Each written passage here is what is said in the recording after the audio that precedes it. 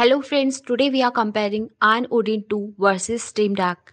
First we discuss specifications. Ayn Odin 2 CPU Qualcomm Snapdragon 8 Generation 2 GPU Adreno 740 RAM 8GB Storage 128GB Display 6 inch Operating System Android 13 Connectivity Wi-Fi Bluetooth USB-C microSD slot Steam Deck CPU AMD Zen 2 GPU AMD RDNA 2 RAM 16GB storage options 64 256 512GB display 7 inch operating system SteamOS 3 connectivity Wi-Fi Bluetooth performance Ayn Odin 2 performance much stronger than the base model due to the Snapdragon 8 Generation 2.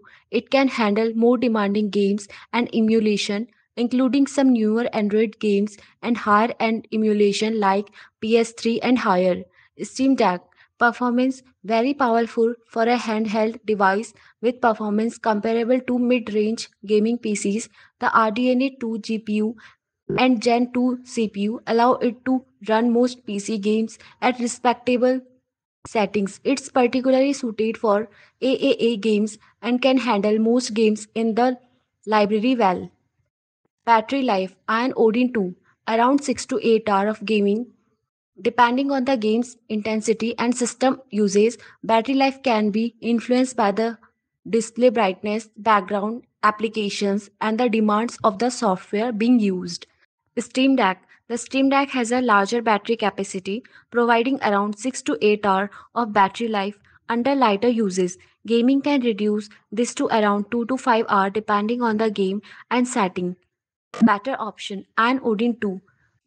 Professionalism, compact and portable, strong CPU performance, good for emulation and game streaming, customizable Android based OS. Consideration Integrated graphics may not handle the most demanding PC. Games as well as the Steam Deck software support and updated may vary.